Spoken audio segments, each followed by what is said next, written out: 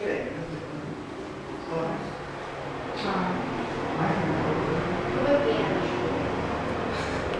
không vấn đề vấn đề ăn rồi. Gỗ cũng này nó chuẩn bị chia Nè nó giặt mình cái ưa ấy. Rồi không sao.